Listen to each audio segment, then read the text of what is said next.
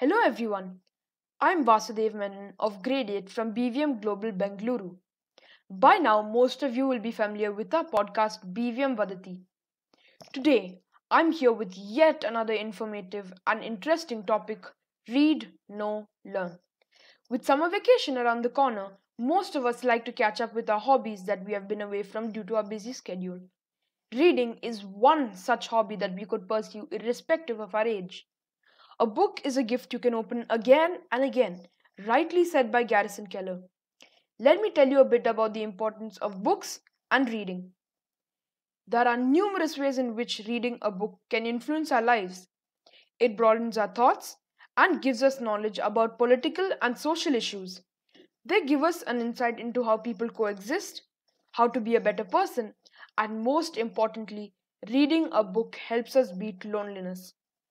One of the most obvious benefits of reading every day is learning. Books provide access to in depth knowledge. Going beyond the surface of a subject is essential for success too.